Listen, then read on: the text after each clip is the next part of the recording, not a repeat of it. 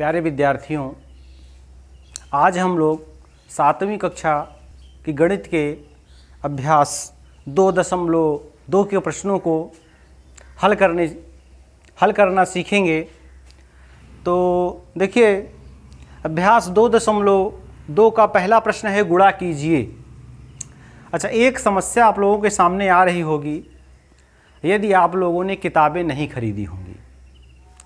क्योंकि देखिए पुरानी किताबें जो पिछले साल आप लोगों ने पढ़ी हैं, वह किताबें इस बार बदल दी गई हैं।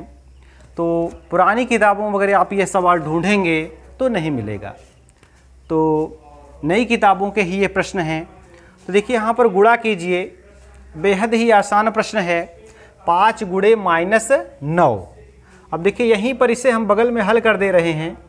इधर हम प्रश्न लिख देंगे, इधर हल कर देंगे। तो देखिए यहाँ पर क्या है? पाँच का गुड़ा नौ से करना है, बस इतना आप जानिए। पाँच का गुड़ा नौ से करना है। चिन्ह आप समझ लीजिए। अगर चिन्हों की संख्या सम रहती है, तब उत्तर हमेशा धनात्मक होता है।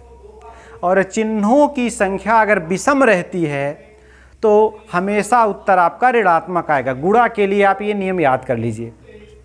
जब हम किन्हीं दो, तीन, चार, पाँच ऐसा किसी भी संख्या में ऐसा गुणा करते हैं तो अगर ऋण चिन्हों की संख्या विषम है, तब तो आपका गुणनफल ऋणात्मक आएगा और उनकी संख्या सम है तो आपका उत्तर धनात्मक आएगा। तो आप यहाँ बताइए, क्या ऋण की संख्या सम है या विषम है?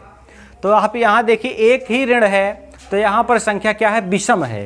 तो उत्तर आपका ऋणात्मक आएगा तो पहले आप ऋण लगा लीजिए, फिर आप पाँच नवा पैंतालीस कर लीजिए। बस आपका यही उत्तर है, बिल्कुल मौखिक उत्तर।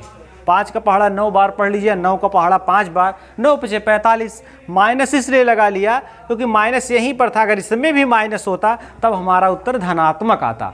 तो चलिए दूसरा पार्ट इसका देख लिए तीन गुड़े माइनस बत्तीस।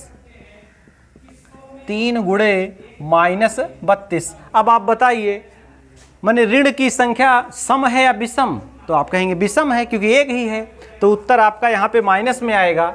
तो आप तीन से बत्तीस में गुणा कर लीजिए भैया। तो तीन दूनी छः और तीन तियाँ नौ। माइनस छियानवे आपका उत्तर आ गया। तो थर्ड पार्ट देख लीजिए। माइनस सत्ताईस गुड़े ज़ीरो। माइनस सत्ताईस गुड़े ज़ीरो। अच्छा आप ये बताइए, किसी भी संख्या में अगर आप ज़ीरो से गुणा करेंगे तो आपका उत्तर क्या आएगा? तो आपका उत्तर ज़ीरो हो जाएगा। किसी भी संख्या में आप अगर ज़ीरो से गुणा करेंगे तो उत्तर ज़ीरो आएगा। और एक चीज़ और जान लीजिए, ज़ीरो ना तो धन पूर्णांक है और ना तो ऋण पूर्णांक। माने जब हम ज़ीरो लिखेंगे तो उसके पहले ना हम प्लस लगा सकते हैं और ना ही माइनस लगा सकते हैं। तो यहाँ पर आपका उत्तर ज़ीरो आएगा। अब आप कहेंगे कि माइनस की संख्या तो विषम है। एक है तो यहाँ माइनस लगा दीजिए। नहीं, क्योंकि ज़ीरो ना तो ऋण पूर्णांक है, ना तो धन पूर्णांक है, इसलिए यहाँ चिन्ह कोई भी नहीं लगेगा। इक्कीस गुड़े माइनस नौ, फोर्थ पार्ट में देखिए, इक्कीस गुड़े माइनस नौ। तो आप देखिए यहाँ, जो ऋण की संख्या है, विषम है, एक ही है तो उत्तर हमारा ऋणात्मक होगा। नौ एक कम नौ, और नौ दूनी अठारह, माइनस एक सौ नवासी। आपका ये उत्तर आ जाएगा। तो मैं देख रहा हूँ, इसमें इसी प्रकार के प्रश्न हैं। अब ऐसे ही सारे प्रश्नों को आप हल कर लीजिए। यदि दोनों में माइनस लगा होगा तो आपका उत्तर धनात्मक होगा। और अगर एक में रहेगा तो उत्तर आपका ऋणात्मक आ जाएगा। कुछ सवालों में इसमें दोनों में माइनस लगा दिया। जैसे एक सवाल आप लिख लीजिए फिफ्थ पार्ट इसमें दिया है माइनस बारह अगुड़ते माइनस सोलह। तो अब आप देखिए कि यहाँ पर देखिए दो माइनस हैं। तो इनकी संख्या सम हो गई। तो आपका उत्तर धनात्मक आएगा, ऋणात्मक कभी भी नहीं आएगा। अभी तीन माइनस हो जाए, एक संख्या हम और लिख दें इसके बगल कि माइनस चार, तब फिर आपका उत्तर ऋणात्मक हो जाएगा। तो अब ध्यान देना कि अगर ऋण संख्याएँ, ऋण पूर्णांक आपके सम हैं तो आपका उत्तर धनात्मक और विषम है तो ऋणात्मक। तो यहाँ पर संख्या सम हो गई, दो माइनस हो गए और दो सम संख्या है। तो उत्तर आपका धनात्मक आएगा। अब बस 12 से 16 में गुणा कर लीजिए। तो कैसे करेंगे? बार छंग बहत्तर के दो, हासिल आपके सात। और बारह एक कम बारह, और बारह सात उन्नीस। तो एक सौ बानवे आपका उत्तर आ गया। अब यहाँ ऋण नहीं लगेगा। तो अब हम समझ रहे हैं कि आप पहला प्रश्न पूरा हल कर लेंगे। तो अब दूसरे प्रश्न को हम देखते हैं। हालाँकि दूसरा प्रश्न भी बिल्कुल ऐसे ही है। उसमें भी कह रहा है गुड़ा कीजिए। दूसरे प्रश्न में भी गुड़ा के लिए ही बोल रहा है। तो देखिए, पहला सवाल इसका देख लेते हैं। फ़र्स्ट पार्ट, माइनस तेरह गुड़े माइनस तेरह गुड़े माइनस ज़ीरो माइनस ज़ीरो गुड़े पंद्रह। तो देखिए, जब इसे आप हल करोगे, एक चीज़ आप समझो, ये जो शून्य है इसके पहले ना तो आप धन लगा सकते हैं, ना तो ऋण लगा सकते हैं। तो इस माइनस को आप बिल्कुल ध्यान मत दीजिए। इस पर आप दिमाग बिल्कुल मत लगाइए कि यहाँ पर दो माइनस हैं तो हमारा उत्तर प्लस हो जाएगा। ऐसा बिल्कुल भी नहीं होगा। आपका उत्तर ऋणात्मक ही आएगा। और लेकिन ऋणात्मक भी क्या आएगा? जब आप ज़ीरो से गुणा करेंगे तो आपका गुणनफल तो ज़ीरो आ जाएगा भाई। आप कितनी भी बड़ी बड़ी संख्याओं को गुणा कर लीजिए। जैसे हम कहते हैं एक सौ छत्तीस गुणा एक हज़ार गुणा तीन सौ तिरपन और गुणते ज़ीरो। अब जैसे ये ज़ीरो लगा, आपकी सारी ये मेहनत क्या हो गई? बेकार हो गई। बेकार क्यों हो गई? अब भैया जब ज़ीरो से गुणा करोगे तो गुणनफल तो आपका ज़ीरो आएगा। तो इतनी मेहनत करने की ज़रूरत क्या है? पूरा उत्तर आपका ज़ीरो है। तो वैसे ही सवाल में भी है, जब मैंने गुणनफल की संक्रिया है और बीच में ज़ीरो आ गया है तो अंततः इसका उत्तर क्या आएगा? ज़ीरो ही आएगा। अब प्लस माइनस के चक्कर में आप पढ़िए ही मत। क्योंकि ज़ीरो क्या है उसके आगे ना तो प्लस लगेगा, ना तो माइनस लगेगा, आपका उत्तर शून्य होगा। चलिए सेकंड पार्ट देख लेते हैं।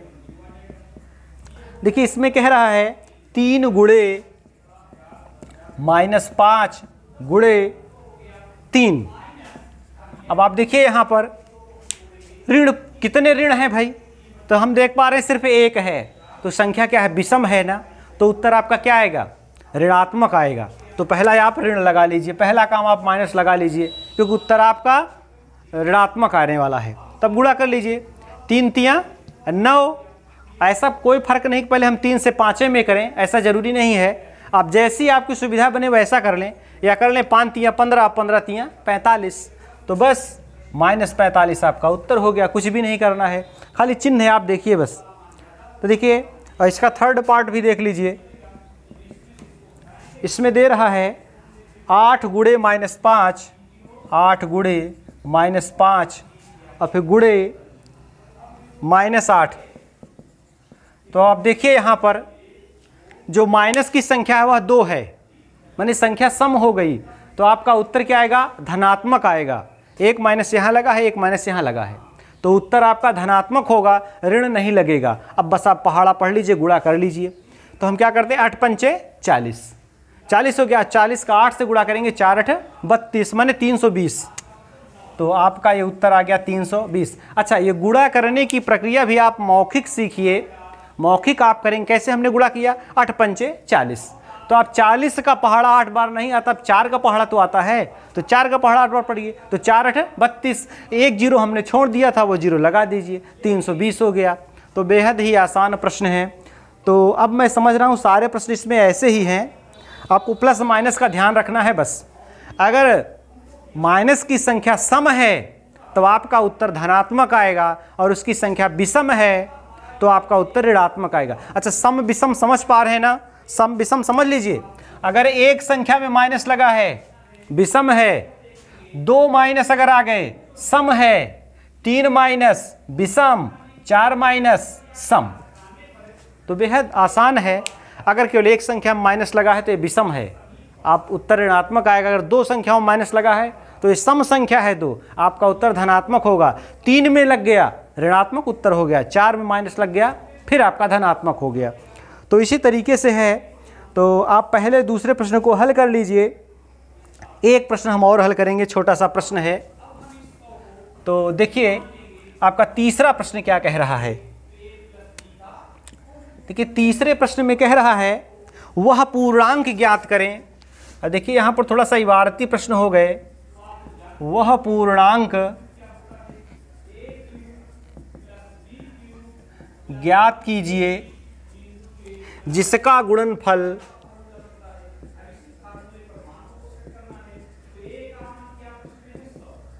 जिसका गुणनफल माइनस एक के साथ माइनस एक के साथ माइनस एक सौ बारह हो। प्रश्न को आप समझ लीजिए। प्रश्न आप समझ जाएँगे तो अब बिल्कुल आसान है। कह रहा है वह पूर्णांक ज्ञात करिए जिसका गुणनफल माइनस एक के साथ माइनस एक सौ बारह हो जाए। तो इसमें सम, बात समझने की यह है कि कह रहे माइनस एक में हम किस संख्या से गुणा करें कि माइनस एक सौ बारह प्राप्त हो जाए। ठीक है ना? वह पूर्णांक ज्ञात कीजिए, जिसका गुणनफल माइनस एक के साथ। तो माइनस एक के साथ का मतलब माइनस एक के साथ किसी संख्या से गुणा करना है आपको। और उसके बाद गुणनफल क्या हो जाए? माइनस एक सौ बारह। यही बात है कि माइनस एक में किस संख्या से हम गुणा कर दें कि हमारा उत्तर माइनस एक सौ बारह आ जाए। देखिए बच्चों, जब आप प्रश्न को समझेंगे, तभी आप प्रश्न को हल कर पाएँगे। ऐसा नहीं कि जोड़ घटाने के रूप में सवाल लिखा है, बस आप जोड़ना, घटाना, गुणा करना आप जानेंगे, तब ऐसे नहीं हल हो पाएगा। प्रश्न को आपको पढ़कर समझना भी पड़ेगा। ठीक है वह पूर्णांक ज्ञात कीजिए, जिसका गुणनफल माइनस एक के साथ। माइनस एक के साथ किस पूर्णांक से हम गुणा कर दें कि हमारा गुणनफल माइनस एक सौ बारह हो जाए? तो चलिए, बेहद ही आसान है, मैं इसे हल कर रहा हूँ।